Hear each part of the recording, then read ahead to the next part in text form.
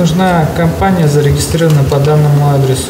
Называется ВЛК «Комплект». Юридический адрес есть, фактически организации нет. Поиск должников у судебных приставов – дело обычное. Неприметный вагончик на территории промышленной зоны. Немноголюдно. Размеренный рабочий ритм менеджера нарушают судебные приставы. Причина их появления банальна – налоговая задолженность перед государством.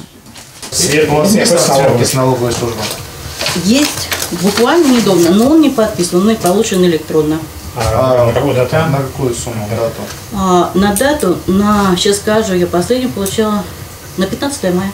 Накладывать арест на имущество приставам не пришлось. Со слов бухгалтера долг погашен, но для подтверждения необходимо явиться как в налоговую службу, так и к приставам лично. Впрочем, это тот случай, скорее исключение из правил. Чаще, выезжая по адресу должника, приставы обнаруживают закрытые двери. В большинстве случаев мы сталкиваемся с тем, что юридические лица э, ликвидируются, проводят самоликвидацию. Соответственно, во избежание данной ситуации с судебным приставом исполнителем выносится постановление, которое направляется в налоговый орган о запрете внесения изменений ЕГРЮ.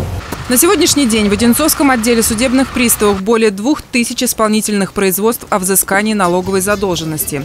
Общий долг неплательщиков перед казной 600 миллионов рублей. В ходе рейдовых мероприятий судебным приставом исполнителями отдела Составлено три акта описи о ареста на имущество должников.